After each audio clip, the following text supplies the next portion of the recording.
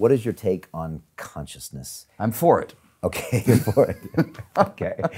I mean, consciousness is such a weird word because I didn't study consciousness Yeah. at MIT, and you know, it it can't really be studied or def- I mean, it can be defined, but it can't be measured. Yeah. We kind of all recognize it's important. Maybe like a spiritual practice is important, but like, where does it sit? You all know, these ideas? it- it's so hard because we scientists are trained to study the objective things that we can all look at and measure, and we're not particularly good at turning inward and examining the, the subjective world. And, and the weird thing, or the hard thing, I should really say, about the subjective world is by definition, I only have access to my own. I don't have access to your subjective conscious awareness. So I don't even know if your conscious awareness is really like mine.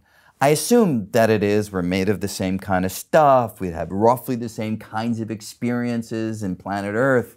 And so I conjecture that you have an inner voice inside your head sometimes talks to you. I conjecture that you experience love and wonder and, and thrill and all that stuff. But that's just conjecture. I can't get inside your head.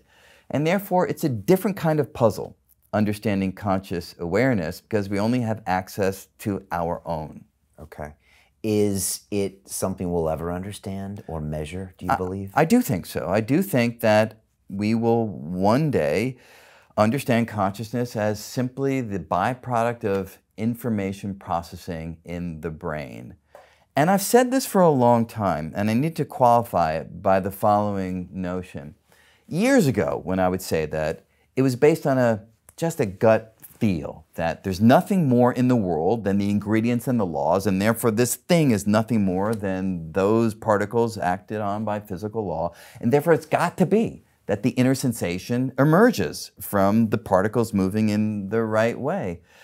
I didn't fully appreciate the subtlety of the problem when I first started saying things like this, say 20 years ago. In the intervening years, I've thought much more carefully about the problems of consciousness, much more deeply about other theories that people have put forward. And so I feel like I've broadened out my understanding of the, the difficulty of explaining this inner world emerging from particles that don't have an inner world. I mean, that's like, that's a real puzzle. But I do feel, even after now thinking about it for decades, that one day we will resolve this. We have not resolved it yet, and I do not think that we will need to imagine there's a consciousness field that we tap into, that there's something else beyond the physical. I really do feel strongly that when all the dust settles, consciousness will be a quality that just emerges when you've got particles in the right arrangement, moving in the right patterns. Right. So no collective consciousness, no tapping up to any spirit world. It's just electrons and different chemicals in your brain that Yeah. creates your world. Yeah. You know, one of the ways people have traditionally studied their consciousness is to perturb their consciousness. Yes. And so a couple years ago, I went uh, down to Costa Rica and drank some ayahuasca, which is a plant medicine, and it, you know, it definitely perturbed my consciousness. Yeah. And you know, people have all these experiences, and a lot of people have had these experiences. Now, some people feel feel like they're talking to spirits and Yeah, entities. yeah. Um, but I don't know if it's because of my scientific training. But when I come back, I'm pretty sure that I was having an experience in my brain. Yeah. And and and that's why a lot of people say. You know, people to be scared of like a psychedelic is like you're scared of yourself because it is you. Now, of course, it's altering your brain chemistry in ways that you wouldn't normally do, but that's the way I feel about it. Other people feel differently about it. Yeah. What are your thoughts? I And agree, I agree with you 100 and I know you recently talked to Joe Rogan about some of your own experiences, Yeah. which probably have millions of views right now, so I'm not outing you. Right. But I mean, that also helped you because you had that experience. And I know Richard Dawkins has traditionally said, I will not smoke the DMT, I will not touch anything, but I'm not going to, and it doesn't work and it doesn't matter. But you have a little experience. And What are your thoughts? Yeah, and, and, and I came out of that in exactly the same way that you did. In fact, it confirmed rather than made me question my previous views because all I did was very modestly change the chemistry for a brief period of time that was going on inside of my brain. And that slight change in chemistry yielded a pretty radical change in conscious experience. If consciousness was out here, you would think that there'd be a consistency to it that would transcend any small perturbation to the particles coursing through your brain. But that's not what happens. So to me, it just makes it even more obvious, even more intuitive that all it is is particle motion through this structure, and that's what conscious awareness is.